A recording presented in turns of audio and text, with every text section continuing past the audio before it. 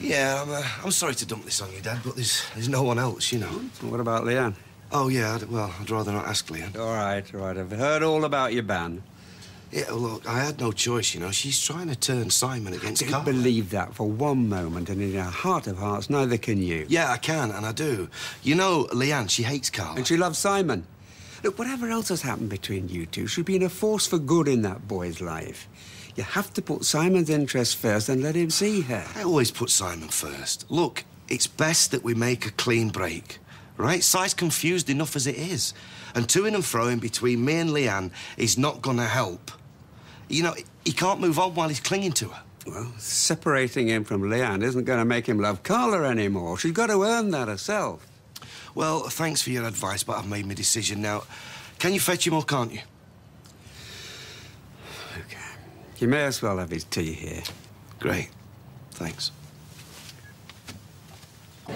Hey, son. Them things will kill you, you know. Yeah, I won't bet on it. There's plenty of competition at the moment. Besides, I'm not sure them bacon butties are going to do you any favours, mate. Bacon Barn never killed anyone. Aside from pigs, obviously. Now, you see, Peter, you gotta, you gotta burn it all off, keep yourself busy. Hey, talking of which, mate, I don't know how you set, but there's one of my counters in the shop needs changing if you've got a minute. Well, Punter's tears is all the lacquer, did it? Mine more like. Yeah, well, nobody's making any money these days, mate. No, no, it's uh, business is not the problem, you know. Wish it was.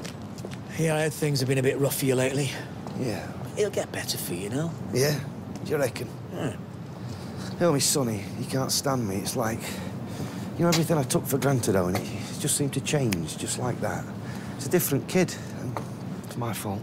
Mate, being a dad is not about popularity. No. I've learned that the hard way. You gotta stick to your guns. Do what you think's best. Yeah, but best for who, though? You know, maybe I've been selfish, put my happiness before Simon's. Look, Peter, I, I don't know the ins and outs here, but I do know that a bit of hardship in the short term is better than years of pretending that everything's all right when it's obviously not. Wise words, mate. I'll think on it. All right, pal. Cheers. Oi, What? don't know, maybe I should branch out into a bit of counselling. What do you think? Ah, it's a good idea. Make sure you do my counter first.